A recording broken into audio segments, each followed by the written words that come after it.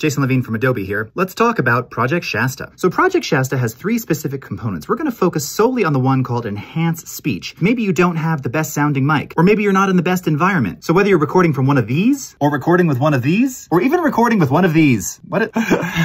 yes, that's a very old microphone. This is from the 1970s. But, But it it works! works. Project Shasta can turn that into something that sounds like it was recorded in a studio.